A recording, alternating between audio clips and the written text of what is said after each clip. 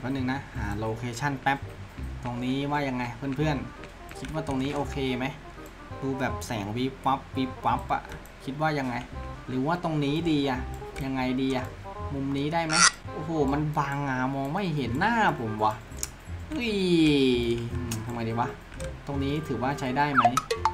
ยังไม่สวยเหรอ มุมไหนดี เอามุมนี้ไหมเฮ้ยเฮ้ยมีอะไรอะแดนได้ด้วยอะเอาวะ รรมดาที่ไหนอะครับทำไมต้องเดนหันหลังอะเขินนะเขินกล้องเอาใหม่หันหน้ามาก่อนอะอุ้ย มันไม่มองกล้องอะมันเขินนะฮะโอเคครับก็สวัสดีคุณผู้ชมทุกท่านนะฮะอยู่กับผมครับคิวนะสำหรับวันนี้นะฮะ เราอยู่ในเกมลูเมียซาก้าอีกแล้วนะครับ ผมวันนี้ก็จะมาแนะนำฟังก์ชันนะฮะ เป็นระบบสำหรับอาชีพสำหรับเพื่อนๆที่กำลังเล่นแล้วแบบอยากเปลี่ยนอาชีพแล้วไม่อยากเปลี่ยนอาชีพแต่แต่ ID เดิมทำยังไงดีมา นะครับ เดี๋ยวผมยืนข้างน้องเป็ดเหลืองนี่แหละโอเค ก็อย่างแรกเลยนะ คุณก็ต้องมาที่ อย่างแรกเลย เราไปทำ quest ตรงนี้นะ เสร็จแล้วกดไปที่ guideline ตรงนี้นะครับ ผมแล้วก็เกี่ยวกับการโอนถ่ายอันนี้นะฮะ แล้วก็กดไปทันทีเลยนี่ เราต้องไปทำ quest ก่อนนะครับผมไปทำ quest ตรงนี้นะฮะ เมื่อเราทำ quest เสร็จแล้วนะฮะ เราก็กดตรงนี้เลยนะครับ ปุ่มนี้เลย ฟังก์ชัน เอาไม่ทัน ดูใหม่ช้าๆ ฟังก์ชัน skill เอาไม่ทันอีกแล้ว แล้วไม่กดกอล่ะ ก็ไม่เข้าใจเหมือนกันนะ กด skill เห็นไหม แล้วคุณเห็นคำว่านี่ไหมสลับอาชีพเลยนี่เห็นไหมจะมีเปลี่ยนอาชีพนะฮะนี่ตอนนี้คือผมเป็น ranger เด็กใหม่นะครับหรือว่า ranger เด็กติ๋มนะครับผมเราเห็นอันนี้ไหมนักฆ่าอนาคตไกลนี่ไม่ได้อนาคตใหม่นะ ดูดีๆนะครับผมกดไปฮะเปลี่ยนอาชีพโป๊ะงอมานะครับผม นักฆ่าอนาคตไกล นะฮะอนาคตใกล้ๆนี่เราไม่ฆ่าเราต้องฆ่าอนาคตไกลนะครับผมนี่โอเคไปเดี๋ยวผมจะเดินเล่นรอบเมืองสักหนึ่งรอบเป็นการเฉลิมฉลองการสนับอาชีพ นั่งคุยกันดีกว่านะฮะมันเมื่อยแล้วยืนนานๆนะฮะแล้วมีดันเจียนที่เพิ่มมาใหม่นะครับผมดูไม่ทันอีกแล้วใช่ไหมว่าเข้าทางไหนถามสิดูไม่ทันก็บอกสิจะได้คลิกให้ดู ตรงนี้เห็นไหมกดดันเจียนเลยนะฮะ แล้วไปตรงนี้เลยนี่นะครับ อันนี้ฮะเป็นดันเจียนลังแห่งเงามืดแล้วก็หมอกมังกรนี่นะครับผมเป็นหมดธรรมดาพอยากเดี๋ยวเดี๋ยวมันเดี๋ยวเดี๋ยวจะไม่จบเดี๋ยวจะเป็นคลิปหนึ่งชั่วโมงพอเข้าดันเจียนได้เลยนะฮะเดี๋ยวผมเข้าให้ดู ด้วยอาชีพอนาคตไกลนะฮะโอเคนะครับ เดี๋ยวเราวอร์มวอร์มมีดก่อนได้ไหมวอร์มมีดก่อนไหมอืมจัดไปหนึ่งทีพับฟึบฟึบฟึบฟึบเฮ้ยเฮ้ยเฮ้ย เอาแล้วไงเฮ้ยอย่าลุมดิ ไม่ไหวบอกไหวยังไงครับ ยังได้อยู่ กดสกิลไป มันลุมกว่ะบอกเลยว่าพี่ไม่ค่อยใช้ลูกน้องนะ เพราะว่าลูกน้องมันโหดไม่เท่าพี่ แต่ว่าตอนเนี้ยพี่ไม่ไหวแล้วนะครับผม อันนี้ที่มีเรื่องนะ จริง ๆ ผมมาคนเดียวพอ ฝั่งนู้นประมาณ 60 ผมเป็นคนเปิดทั้งหมด เพราะว่าผมเป็นรปภแฮ่ผมมันจะโหดเกินไปแล้ววะเอาเป็นว่าผมลงให้ดูแค่นี้แล้วกันนะโหดเกินอีกระบบหนึ่งนะครับที่อัปเดตเข้ามานะครับเป็นระบบนี้นะฮะที่แนะนำเป็นระบบทีมนี่นะครับผม ฮีโร่นี่นะครับ แล้วก็กดเข้าไปที่ dungeon แต่อีเวนต์นี้จะลงได้ก็ต่อเมื่อต้องมีทีมนะครับผม บางคนยังงงอยู่ว่าเกมนี้มันเล่นยังไงครับพี่เห็นเมาส์ออน จริงๆ เกมนี้มันเป็นเกมเล่นบนมือถือนะครับผม เป็นแบบ MMORPG นะครับ แบบ Open World คือภาพเนี่ย ถ้าใครชอบภาพแนวเนี้ยผมแนะนำว่าให้โหลดมาเล่นเลยนะครับผม อีกระบบที่ผมอยากแนะนำนะครับเป็นระบบนี่ฮะเป็นระบบแกนเวทนะครับแกนเวทคืออะไรนี่ครับระบบแกนเวทคืออะไรนะครับคือระบบแกนเวทเนี่ยเราสามารถจัดแต่งปรับเปลี่ยนอุปกรณ์ได้เองเลยนะครับผมอย่างเช่นอันนี้ผมถือมีดอยู่ใช่ไหมผมก็อืมอยากใส่อันนี้ ผมก็ติดตั้งไป อันนี้ผมอยากใส่ตรงนี้อะติดตั้งไปเนี่ยมาปรับแต่งได้ตามสไตล์เราเลยนะ ถ้าเรามี item ต่างๆ อันนี้ อันนี้มันเป็นอาวุธปลากูกรูนะครับผมชื่อน่ารักดีนะฮะหรือบอกอีกส่วนหนึ่งนะครับ พวกระบบฟังก์ชันต่างๆ นี่เราจะเห็นได้เยอะๆ เท่านี้คือเราต้องเลเวลสูงๆนะครับ คือถ้าเราเลเวลเยอะระบบมันก็จะโผล่ขึ้นมามากขึ้นนะครับผม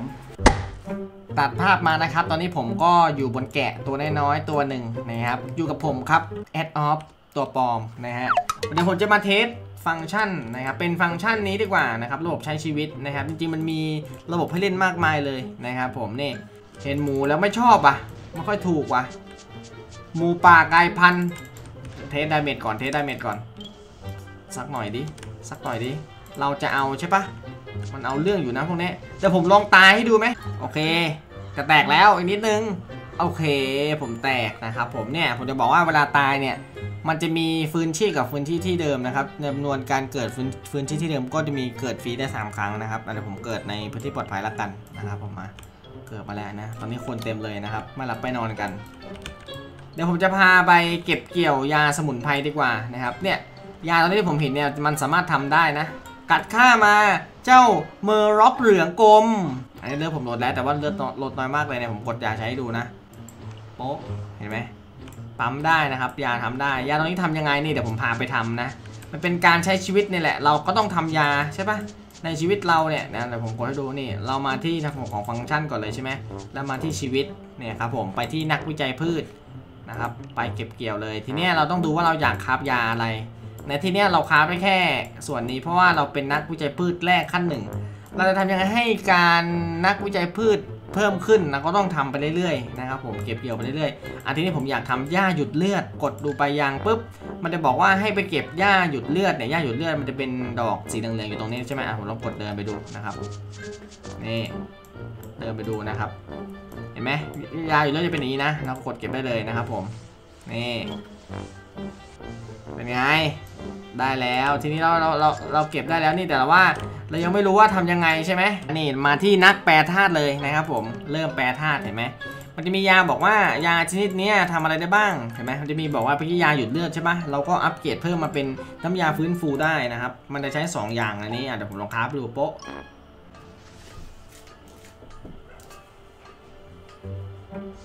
นี่เห็นไหม เราได้ EXP เพิ่มด้วยนะครับผมทำไปเรื่อยๆก็จะได้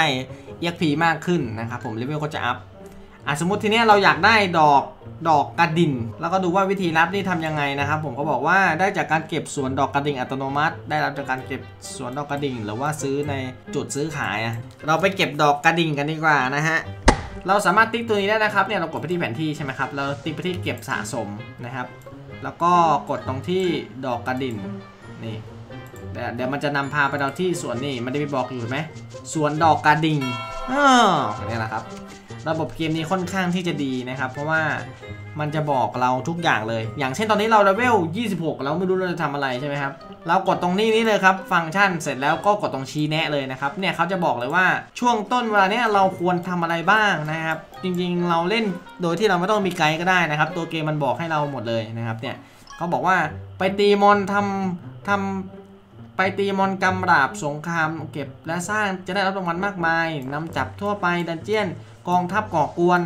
ตีบุอุปกรณ์โอ้โหผมชอบเลยนะตีบุอุปกรณ์เนี่ยนะครับผมแล้วก็เก็บดอกกระดิ่งรอไปนะครับ ตอนนี้ผมเก็บดอกกระดิ่งเยอะมากเลยนะครับ ตอนนี้เราเก็บเก็บเราเบื่อๆเราก็อาจจะแลบไปก็ได้นะครับ ผมแบบว่าโยโยโยเย่เย่สกเดลเย่วันนี้เรามาเก็บดอกกระดิ่งไปทำยา เก็บไปเก็บมารู้สึกปวดขามองดูที่หญ้าเอ๊ะไม่มีอะไร พอเดินออกไปไอสัตว์งูกระดิ่งกัด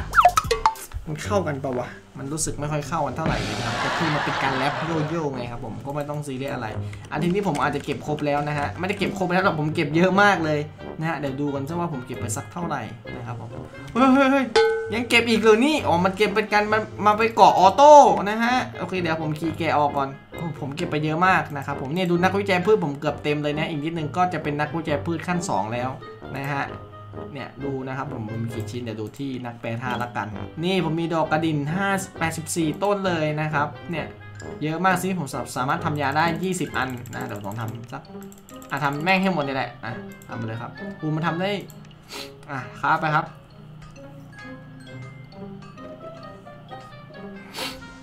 อุ้ยมันต้องอัพทีละขวดเห็นไหมฮะเนี่ยถ้าเกิดเราทำไปเรื่อยๆเนี่ยนักแปรธาตุก็จะอัพขึ้นเรื่อยๆเลยเห็นไหม นะครับ อันนี้ขวดที่ 3 แล้ว โอเค ใครจะทำก็ทำไปนะครับถ้าถ้าเกิดทำจบนี่คลิปอาจจะ 1 ชั่วโมงนะครับผมก็เป็นวิธีที่ทำให้เพิ่มหลอด EP พอเราเพิ่มเสร็จปุ๊บเราก็จะทำยาขั้นต่อไปได้เนี่ยอย่างนะไหนแต่ผมเก็บให้ครบเลยก็ได้อะอีกแค่ 80จ็อบใช่ไหมอะโอเค เก็บดอกกระดิ่งต่อนะฮะเก็บจนหน้าเป็นกระดิ่งเลยนะครับผม อันนี้เราเจอเพื่อนมาหรือเปล่าครับนี่อ๋อมาเก็บดอกกระดิ่งเหมือนกันด้วยนะฮะ เดี๋ยวเราลองทักพูดคุยกับเขาดูก่อนนะฮะทำลายอะ เนี่ยพูดแบบ แวนแวนนิดนึงทำลายอะอาจจะไม่ออกทำลายทำลายทำลายอะต้องมีสระอาด้วยทำลายอะเขาเป็นชื่อจีนนะฮะ น่าจะเป็นคนนอกหรือเปล่า ไม่น่าใช่คนไทยนะ คนนี้ดีกว่า มาชิน มาเจีย19 นะครับ เฮ้ยเขาเลี้ยงตัวอะไรอะ น่ารักอะฮะ กระต่ายหรือเปล่านี่นะครับผม นักวิจัยเตรียมนะฮะ อันนี้เขาอยู่หรือเปล่าไม่รู้นะครับโอ้โหก็42 เดี๋ยวลองทักไปดูส่วนตัวดูนะครับ ดีครับ นี่อาจจะเป็นสาวนะฮะ ใช่น้องน้ำปะครับ ใช่น้องน้ำปะครับ ใช่น้องน้ำปะครับ ถามก่อนถ้าใช่มาผมจะได้ไม่คุยนะฮะ น้องน้ำนี่อันตรายนะฮะ โอเคนะฮะเขาไม่น่าอยู่นะครับเอ้าเฮ้ย ไปไหนแล้ววะโอ้โห นะฮะเผลอไม่ได้เลยนะครับผมเก็บดอกกระดิ่งต่อ อันนี้พอเราเก็บเกี่ยวเสร็จแล้วนะครับผมก็มาดูตรงที่ชีวิตนี่นะครับผมเขาบอกว่าการที่เราจะเป็นขั้นนักวิจัยพืชขั้นต่อไปได้เราต้องเลเวลถึง 30 นะครับ ตามนี้นะครับ เราก็ต้องไปเก็บเลเวลต่อนะครับเนี่ยตอนนี้เราเลเวล27 นะครับ ผมก็ตีไป ตี golem ไปนะฮะธาตุหินเนี่ยเก็บเลเวลได้เลยนะครับ ผมแนะนำว่าถ้าใครเล่นคนเดียวลองหาเพื่อนเล่นดูนะครับ เพราะว่าพวก dungeon ต่างๆนะครับต้องใช้ ต้องเล่นกับเพื่อนด้วยนะครับมันถึงจะสบายๆนะครับผมเนี่ยตั้งทีมได้นะครับผมตั้งทีมได้ถ้ามีทีมแล้วตั้งได้แต่ตอนนี้ไม่มีทีมแล้วนะครับอยากให้ดูความแตกต่างของเลเวลเยอะกับเลเวลน้อยเห็นไหม พอเราเลเวลเราน้อยเนี่ยไอ้ตรงนี้มันจะปลดล็อกมาไม่ครบนะครับยิ่งเราเลเวลเยอะๆนะครับฟังก์ชันตรงนี้จะออกมาเยอะมากนะครับผมก็เก็บเลเวลไปเรื่อยๆแล้วกันนะใครที่แบบหาเกมแนวบุกเบิกผจญภัยแนว MRPG เล่นเพลินๆเกมน่ารักน่ารักนะครับแบบทำ questตกปลาเนี่ยมันมีเยอะมากมีอุปกรณ์มีตกปลา มีของเล่นโอ้โหของมันเยอะมากนะครับมีของเล่นเยอะมากเลยเนี่ยครับผมเฮ้ยมึงเก็บยังไม่พออีกเหรอพอได้แล้วมั้งเก็บอะไรเยอะแยะนี่เดี๋ยวผมขอปรับฟิลเตอร์นิดนึงนะฮะให้มันดูแบบ ว้าวอันนี้เป็นไงนะฮะปิดฉากแบบสวยๆไงเออนะครับผมโอเคฮะเดี๋ยวผมลาไปด้วยเจ้าแกะหรือว่าลามะน้อยนะครับกับฟิลเตอร์ฟิงฟิงหนึ่งอันให้มันดูเวอร์ๆนะครับผมสำหรับใครที่อยากเล่นเกมแนวนี้นะครับ อย่าลืมมาโหลดกันด้วยนะครับ ฝากไว้ด้วยนะครับเกม Blue m i a Saga นะครับผม แล้วเจอกันใหม่คลิปหน้าครับผม สวัสดีครับ